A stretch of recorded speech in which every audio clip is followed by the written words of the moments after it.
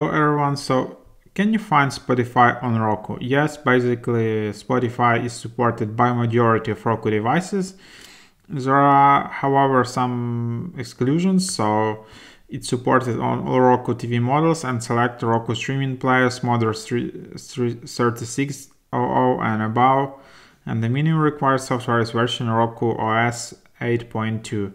So you can uh, know your Roku device by going to settings, system and about.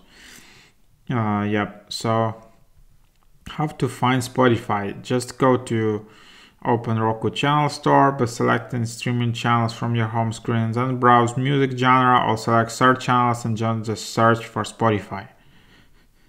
So there you have it. You can also add Spotify from the Roku channel on the web and then it will immediately appear on your supported Roku device. Uh, yeah, so there you have it uh, yeah so yeah it's totally possible and you have spotify on your media player